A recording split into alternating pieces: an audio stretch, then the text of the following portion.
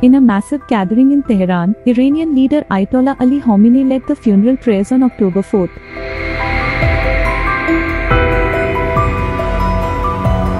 While addressing the crowd, Iranian leader Ayatollah Ali Khamenei said that its regional allies would not back down.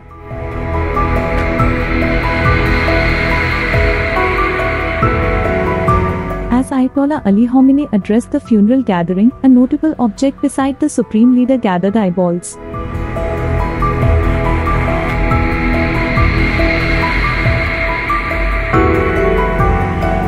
The distinctive item next to Iran's supreme leader, Khomeini, was a weapon that he held while addressing the crowd during Friday prayers. In his first public appearance following Iran's attack on Israel, Ayatollah Ali Khamenei issued threats toward Israel while holding a weapon. This was the first time Khomeini appeared in public since Iran launched 180 ballistic missiles at Israel.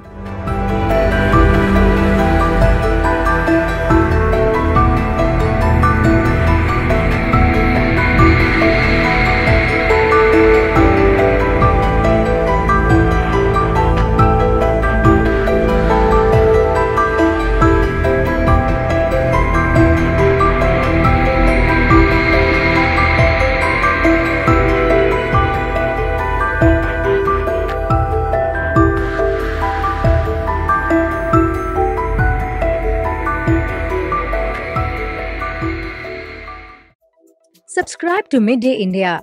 Get direct notifications on all our videos by clicking on the bell icon.